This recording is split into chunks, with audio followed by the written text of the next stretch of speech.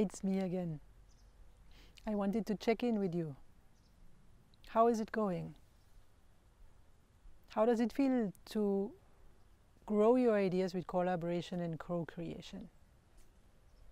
It really matters to me that I can support you on your journey.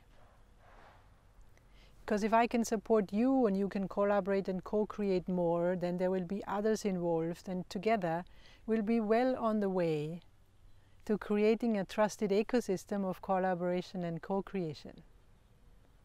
So don't forget to check in with me, stay connected on the channels that fit you best, and let's do these next steps together.